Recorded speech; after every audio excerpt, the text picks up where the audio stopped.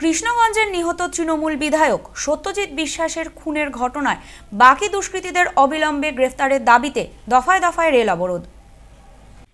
কৃষ্ণগঞ্জের তৃণমূল বিধায়ক সত্যজিৎ বিশ্বাস খুনের ঘটনায় অবিলম্বে দুষ্কৃতীদের গ্রেফতার করতে হবে। এমন দাবিতে এদিন বনগা শিয়ালদাহ শাখার বনগা ও অশোকনগর স্টেশনে রেল অবরোধ করেন মতুয়া সম্প্রদায়ের মানুষেরা।